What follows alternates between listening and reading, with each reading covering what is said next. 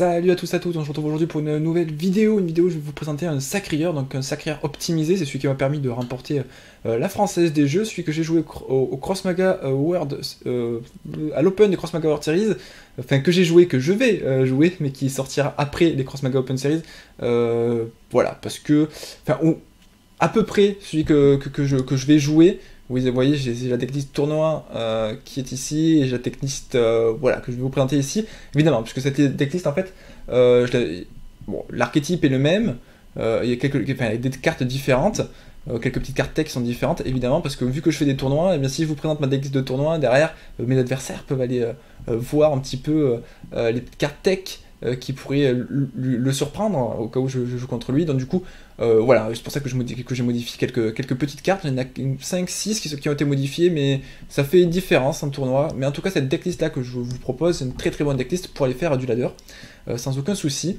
Euh, et c'est exactement avec, avec celle-là que j'ai gagné l'FDJ, donc le tournoi de la française, la française des jeux, qui m'a permis de rapporter 150 euros. Vous, pouvez aller, vous, avez pu voir du coup les, quelques matchs de rediffusion que j'ai mis sur ma chaîne.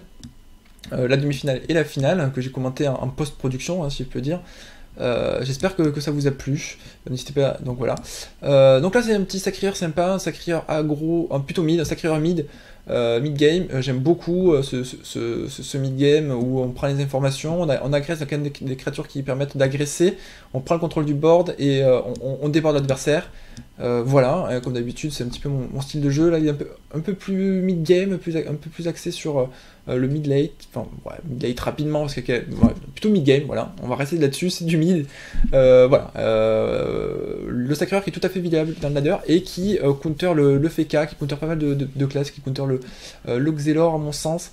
voilà, donc n'hésitez pas à le sortir ce sacrieur, c'est ce qui vous plaît.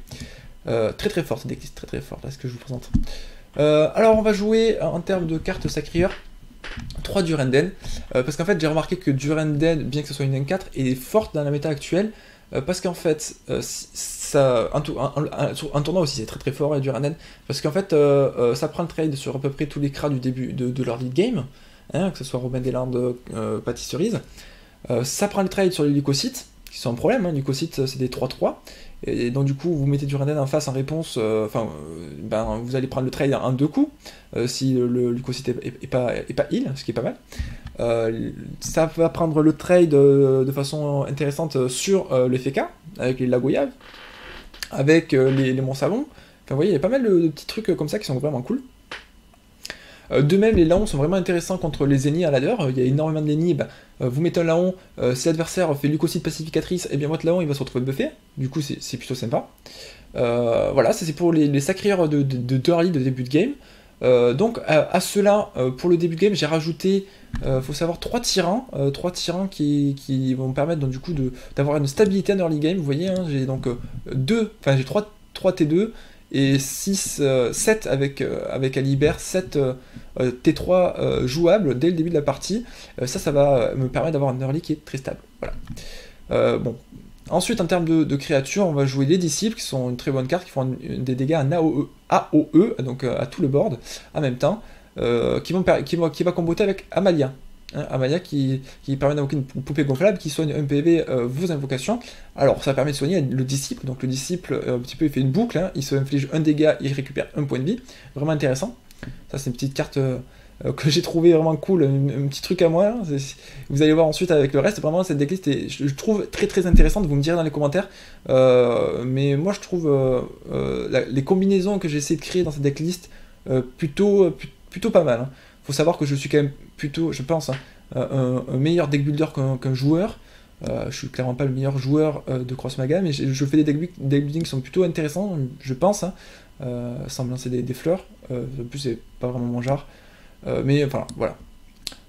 parenthèse fermée. en ce qui concerne les autres cartes du, du on va avoir 3 Sigrun. Sigrun qui a un très très bon T4 sur le Sacrieur, c'est ce qui manquait au Sacrieur, c'est ce qui est arrivé avec l'arrivée de la fratrie de repos. Qui permet de piocher une crossmic quand votre adversaire joue une crossmic, donc ça faut, la jouer intelligemment, ça va bloquer l'adversaire. Si par exemple l'adversaire fait l'art de ville, et eh bien vous mettez Sigrun et, et, votre adversaire va pas pouvoir poser le score parce qu'il y aura Sigrun sur le board et sinon il va, il va vous faire piocher une crossmic. donc c'est des petits trucs comme ça. Donc on, la joue pas vraiment pour l'effet en tant que tel, enfin on la met pas dans, le deck pour l'effet, mais surtout pour son body 4-4 et un sacrieur, c'est vraiment cool. ensuite on met Globule la, la crapule. oui, j'en joue 3. Parce qu'en fait, j'ai pas mal de sacrieurs qui sont intéressants. En dehors des. Bon, les Turenen, c'est pour leur lit. Passer leur lit, c'est beaucoup moins intéressant, même si ça permet quand même de défendre.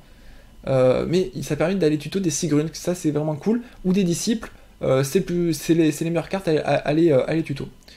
je joue un carte sort 3 morts proches évidemment, 3 pieds du sacrieur évidemment, 3 Silas, Silas qui permet d'avoir garde du corps, vraiment intéressante. Il faut savoir que le garde du corps a été modifié. Maintenant, il ne tank que les, dégâts, des, dégâts égaux à ses points de vie. Sinon, le reste est redistribué à l'invocation. Donc, par exemple, si on fait 5 dégâts euh, sur une cible qui, est, a garde du corps, euh, garde du corps, eh bien ça va me faire 4 dégâts sur le Silas et 1 dégât sur la créature. On va jouer l'arme de sang, une petite carte tech euh, comme ça qui est un petit peu surprenante. On met là l'arme de sang et l'adversaire s'y attend rarement. Ça fait charger et ça met un bouclier sympa. Sympa, sympa. Fulgurance punition, évidemment. les cartes qu'il vous faut avoir si vous voulez jouer sacré. voilà, ça c'est les cartes. Vous remarquerez que je ne joue pas de champion sanglante. Je trouve que ben, maintenant elle est passée en 5-5 5-5, euh, bah, euh, c'est un peu plus compliqué, je trouve, 5-5. Voilà, hum, j'aime un petit peu moins, 5 points d'attaque, c'est un petit peu moins fort. Euh, ça reste tout à fait ok dans un deck un petit peu contrôle au niveau du sacrieur, mais nous on est plus axé mid-game, donc c'est pour ça que, que, j'en mets pas. J'estime qu'il y a assez de body qui vont me permettre de défendre, donc j'ai pas besoin de, cette carte cette carte là. Surtout que c'est un T6, c'est un petit peu late. en termes de cartes neutres, on a trois clés, voilà. Alibert, Amalia, on en a parlé. Euh, trois tyrans, on en a parlé, la larve verte, bon, euh, basique. Euh, l'art de ville, scorer, voilà, le combo basique aussi, auto-include qui permet de piocher, de prendre le contrôle du board. Lugo qui va nous permettre du coup d'avoir le plus possible de, membres la confrérie du tofu. Je joue Ruel Strud et Triste Pain avec. Et Amalia, donc vous voyez, c'est assez facile de, piocher pas mal avec Hugo, avec un sacrieur, grâce au pied par exemple. Euh, qui va nous permettre déjà, euh, vous faites Hugo pied, vous piochez obligatoirement une cross mic, plus une deuxième si votre adversaire n'a pas de silence, euh, parce qu'il va devoir tuer Hugo obligatoirement, sinon il prend Dofus. Donc ça fait minimum deux membres de la confrérie. Deux membres de la confrérie, c'est soit Amalia, soit Ruel Strout, soit Triste Pain, sachant que vous pouvez en avoir un à la pioche dite basique, traditionnelle, sans tuto ce qui fait que vous pouvez très vite vous retrouver avec une main très intéressante. Donc Amalia en plus c'est membre de la confrérie, donc on peut le poser très tôt dans la partie, derrière on peut faire un Ruel Strout aussi si vous l'avez en main euh, tôt dans la partie, ça peut être vraiment top. Alors ensuite on joue un petit Black Wabbit, je l'ai mis, mis en carte tech, euh, j'aime bien, j'aime bien en fait, j'aime bien faire ces deux petits dégâts. Euh, ça paraît bête d'en mettre un petit Black Wabbit, mais en fait moi j'aime bien, parce qu'au pire même si on voulait même si on voulait fratrie, ben c'est pas grave, vous n'en avez qu'un, l'adversaire peut croire que vous en avez deux, trois. là pour le coup, eh bien il y en a qu'un. Euh, ce qui est euh, voilà, ce qui est ce qui est intéressant. Euh, Pew aux odors pour me permettre d'avoir une pioche, une meilleure remplie constante. Et ensuite, on joue Protoflex et Magmog en ce qui concerne les Crossmic. On va tester ça du coup en ladder, vous allez voir, ça marche pas mal, ça marche pas mal. normalement, si je gagne cette game, je passe vétéran, si je me suis pas trompé, si je me suis pas planté dans, dans mes calculs. ça serait cool, hein, ça serait sympa.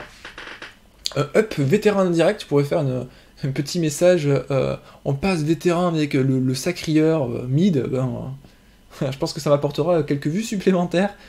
Ça paraît ridicule dit comme ça, mais c'est comme ça que marche YouTube.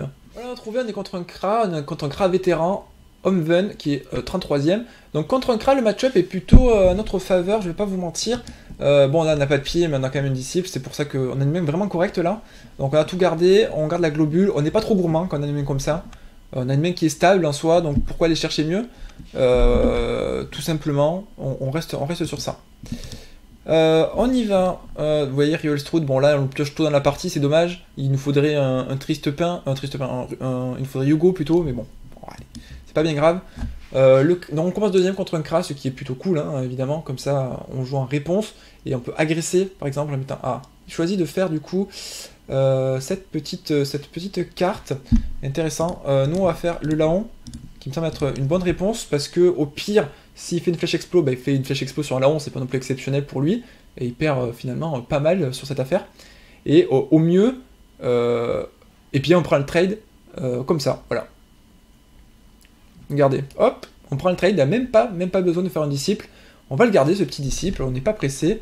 Et on va simplement euh, agresser avec une cigrune pour lui empêcher de faire éventuellement l'art de ville peut-être. Parce que c'est ça qui mettra un petit peu en difficulté, c'est l'art de ville à ce moment-là de la partie. En tout cas j'imagine. Euh, alors j'hésite à le faire sur la pioche ou sur le PA parce que je, pense qu'on va le faire ici sur la pioche parce que ça va potentiellement, je pense, partir. Ah bon, on a Hugo. Hugo vraiment cool. On a une bonne sortie, une bonne sortie bien sympathique. Euh, logiquement, en face du Laon, il y aura une championne embaucheuse qui va être posée. Voilà. Je pense que ça va être ça. Alors je suis pas fan euh, de... Ah voilà, la championne embaucheuse, je l'avais colle, je l'avais prévenu celle-ci. Euh, du coup, est-ce que c'est un pied ou est-ce que c'est un chacha tyran? Alors ça joue Necronomigor, ça dévoile pour avoir des orbes. Très bien. Euh, je pense que je vais préférer faire un chacha tyran.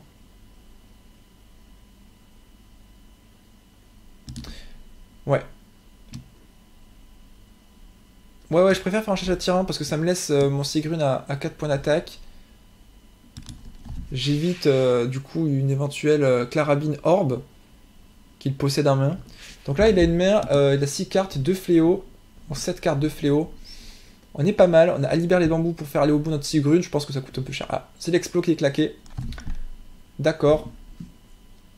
Et du coup, c'est le disciple qui est posé.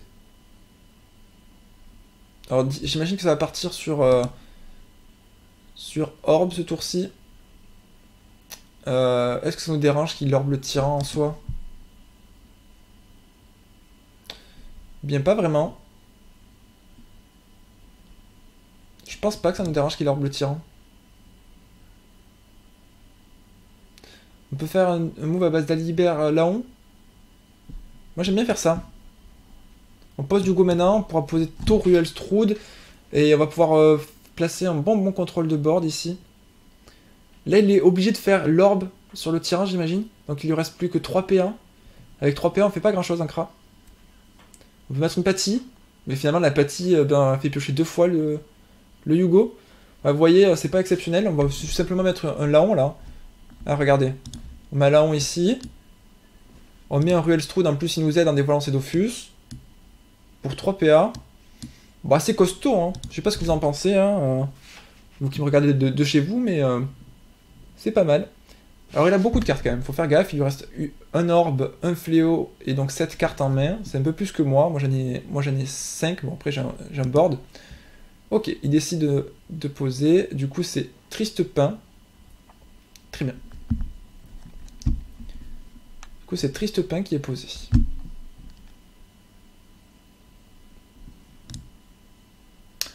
Euh, vous savez quoi Je vais simplement, je pense, agresser avec mon triste père à droite. parce que je pourrais potentiellement faire pied ici, disciple.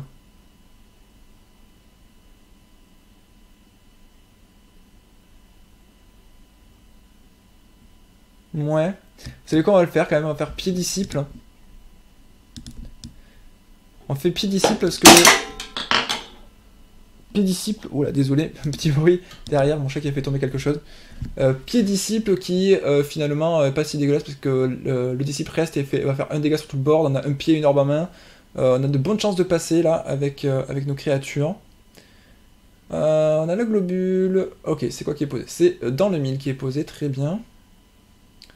Et du coup, c'est le choix de, euh, de faire ça. Très bien.